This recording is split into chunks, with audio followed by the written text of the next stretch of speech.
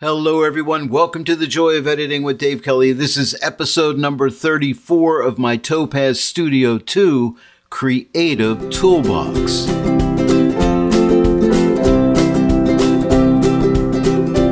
It's going to be a fun little episode today. Now, I'm going to give you two textures that you can download. I'm going to show you how to load those textures into Topaz Studio 2. So I think this will be really good for you if you've never loaded a texture into Topaz Studio 2. We're going to make this image right here. It's going to be a lot of fun and uh, let's get started. I started out in Photoshop and brought the stock image right into Topaz Studio.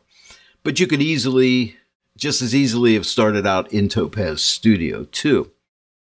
Now, here's what the original image looks like and here's what I turned it into. I really love this image working with textures to get really cool artistic effects. Let me go ahead and shut off all these filters here. I use three texture filters and a basic adjustment.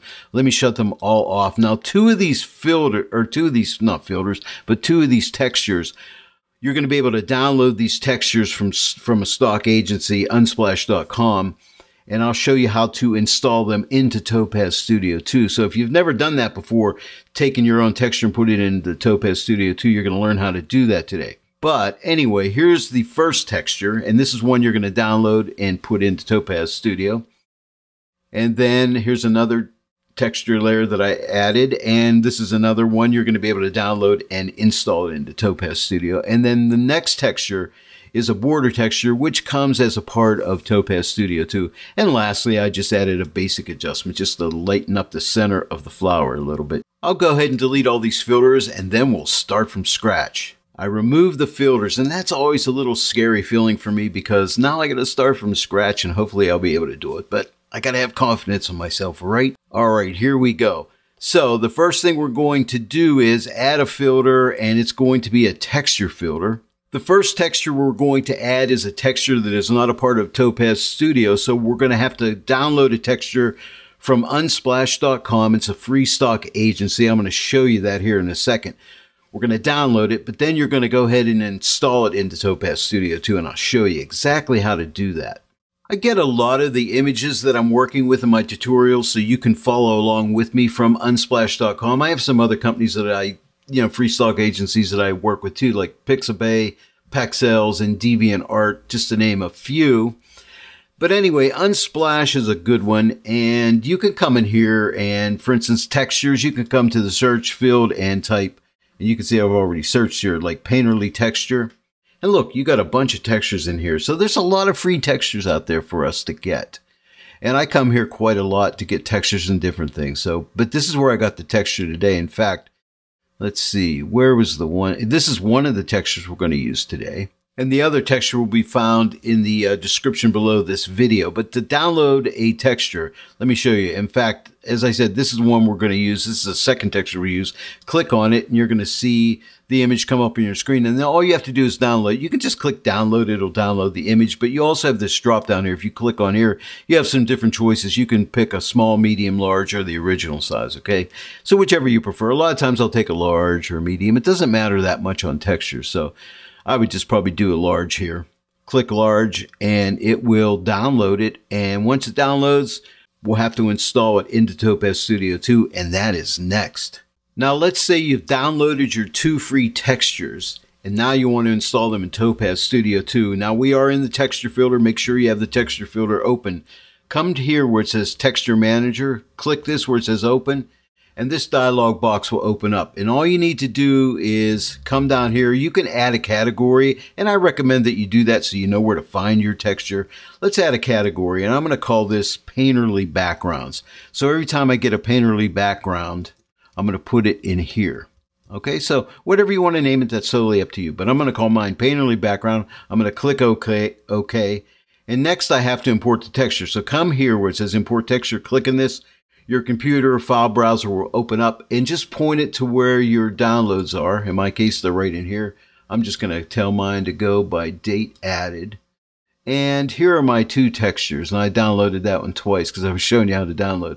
So I want this texture and I want this texture here. So I'm going to select these two textures, click open and check it out. It says copying textures successfully imported two textures. Click OK. They're right there. Now I click close. And now when I come over here to category, right now it says all. And if I come here to the newly created painterly background, there's my two textures. Voila. It's just that simple. And we're going to start out with this texture right here, this pink painterly background. I'm going to click it and there it is. And now I'm going to show you how I adjust it and make it fit into the image. By the way, if you want to give your textures a name, like right now, this texture is just the name of the file, right? If I come back over to the um, texture manager and open it back up and go into that same uh, painterly background, you know, I can come here and see the little pencil here. I can go ahead here and rename. And also I can delete uh, textures that I don't want anymore. And also, if you wanted to, and I forgot to tell you this, if, when you bring your textures in, if you don't want to add a category, you can select any one of these categories and put it into any category that you like. I just wanted to point that out. I'm going to go ahead and click close. This is the default setting. Now the opacity is at uh, 50%. Let's turn it up the full way so you can see what that texture actually looks like. Now I ended up on taking my opacity the whole way up and I changed my blend mode from normal to multiply, which is a really good blend mode. Uh, multiply, actually overlay, soft light, screen can be a good one. Not for this particular image. It really depends on the background and things like that. Soft light, hard light, vivid light can be good. But in this case, we're going to go with multiply. And uh, let me see here. What did I do? I had ended up adjusting the brightness. Now, here's one of the things, and I mentioned this in my last tutorial. I really love this about uh, the texturing filter inside of Topaz Studio 2, and that's all these adjustments here, like the brightness. I needed the lightness image up, so I brought the brightness up to around a 16, and then um, the contrast, I pulled the contrast back. See that? It just kind of softens up the image to right around like a minus 28, I think it was, somewhere in that area. And then the detail, I pulled the detail back. So now the detail is cool. Sometimes I pull it to the right and give it more detail, but in this case, I took some detail out. So I pulled it to the left and I pulled it back to like a minus 38, somewhere in that area, if my notes serve me well. And then on the color strength, let's see, what did I do here? I believe I left the saturation where it was, but I added some more pink. I pulled the color strength up to like 61. You see that pink starting to come in there? 61. Now this next slider is very important, this color slider, because this runs you through the different tint ranges. And I left this on, no, I didn't leave it here. I actually drug it to the right. It starts out in the pink area, and as you drag through, it goes through different colors. So this is very effective and very powerful. See how you can change tints and things here? And I ended up taking it the whole way up to one because I thought, I thought that looked pretty good with it. And maybe yeah i'm to leave it right where i was because i was happy with it. I'm you know already my mind's thinking what if i would do this? But i'm to go ahead and stick with my plan here. Because art is you know our you know you take a short break and all of a sudden your mind's starting to go in different directions. So you just got to go with what your what your mind what your heart is telling you and and that's how you create art it's all about the feelings that you have how you feel you know, sometimes your art will be light and happy. Sometimes it'll be more on the darker side, and it's just it's just fun. But just just go with whatever your whatever your feeling and your emotion is, and it's kind of kind of dictate how the art's going to end up turning out. And I hope that makes sense. Now, as I study this image, I don't think I need to pull any of that texture off the flower because it's not hurting it in any way. In fact, if anything, the color over it and everything is all melting together and it's looking really nice. So I'm just going to leave it just the way it is. Now let's add our second texture filter. So we'll go ahead and click add filter, come back down to texture, and we're going to go back to that same category of painterly background or whatever you named yours, okay? And we're going to use that second texture, this guy right here. Okay, and so that's what that texture looks like. Now let's pull it up the whole way so you can see. It, I think it's like some ocean or something like that, some water, maybe close up of some water. I don't know. It doesn't really matter, but it's really a cool looking texture. And now let me see what I did with this one. Um, I changed the, this one to the uh, overlay blend mode. Oh, and that looks really cool. And did, what did I do with my opacity? I pulled my opacity back to about a 60 somewhere in there, but isn't that really pretty? So, so far, so good. And I'm just looking at my notes here. I thought it was a little on the darker side, but that's kind of nice. I don't mind that so much. And now we're going to go down to our wonderful controls. I'll work with color first. So I'm going to come down to saturation. Now, you, as you recall, this is a blue texture, right? So if I take the saturation up to the right, I'm going to add blue to it. And I don't like that. I'm just going to take that saturation the whole way off. That looks really cool and I like that. And what else did I do here? I took the detail. See, here's the detail in that uh, texture, right? So I pulled my detail back, got rid of, that's the detail the whole way down. I want some of that detail in there, but not a too much of it. So I'm going to take my detail down to around like a minus 42.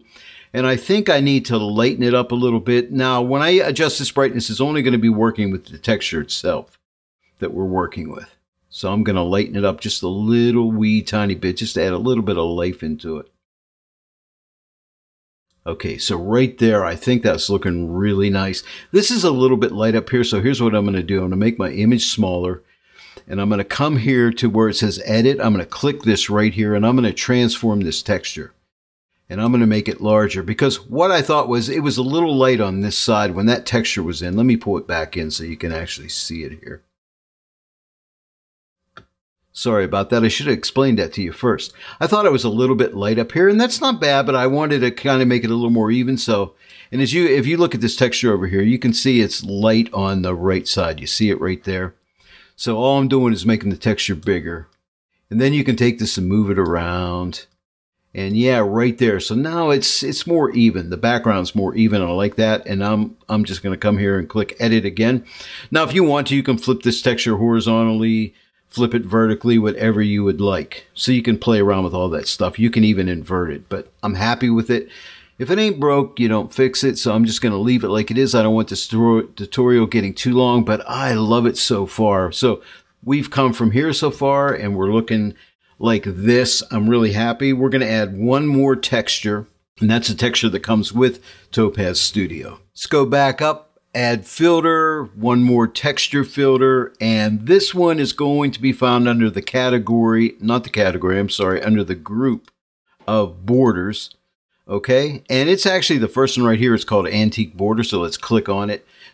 And I thought right out of the gate, I thought, man, that looks really nice. We're going to do some alterations on it. But first, let me go ahead and uh, edit it here uh, or transform it. I'm going to make it not quite as uh, large because I think it's going into the flower too much. It was, you know, going onto the petals of the flower over here a little bit too much.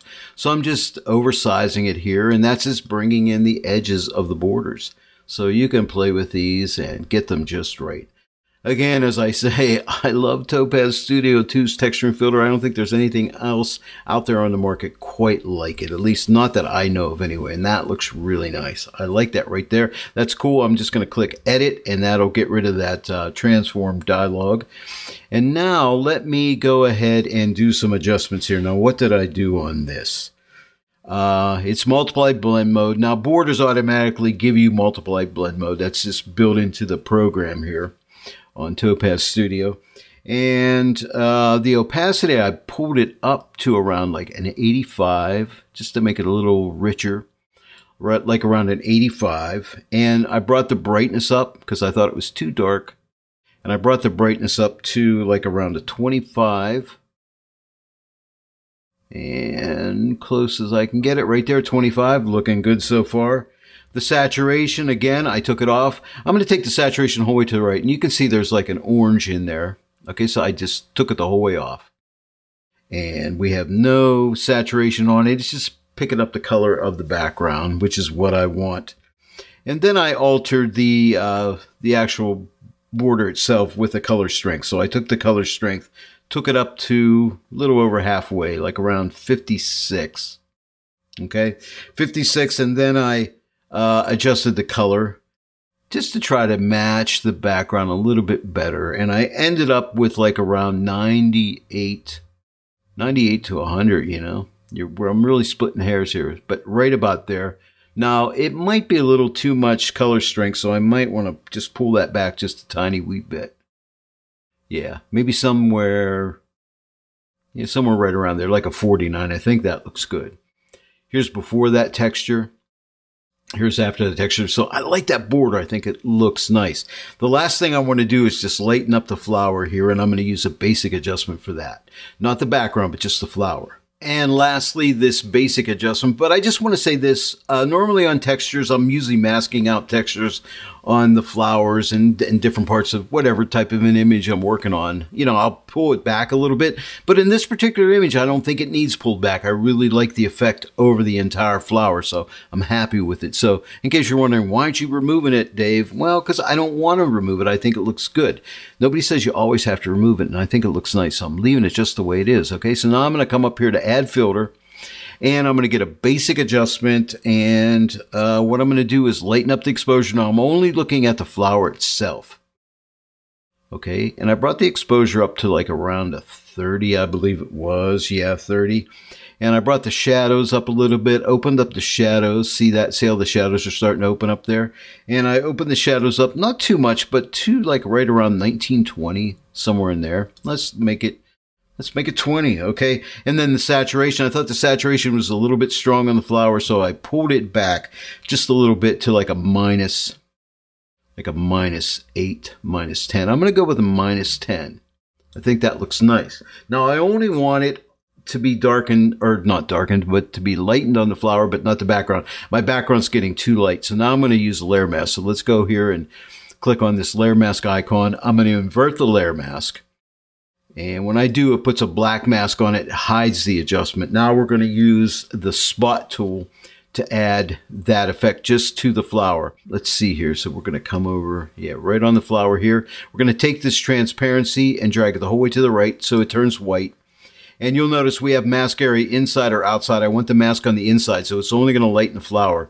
But I'm going to take this edge edgeware.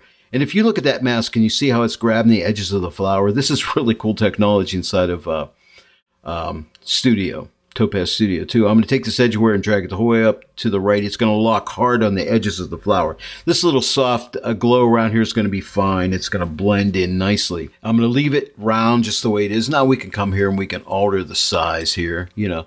But I, I, I mainly want to stay on that flower in the center. It's going to be like right there. Now you can alter that spot any way you want. Just pull in these little handles here, these little squares, and you can change the shape and do all the different things. You can move it around, but look how it's locking on that uh, flower really well. I'm going to go ahead and click apply.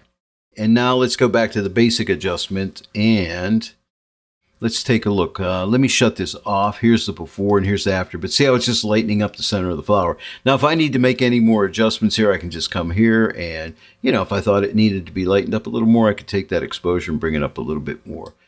But just like that. So here it is again. Here's before the basic adjustment. Here's after the basic adjustment. Here's my overall before and after. And once you're happy with it, if you started out in Topaz Studio, just come up to File and Save Project, give it a name and save your project.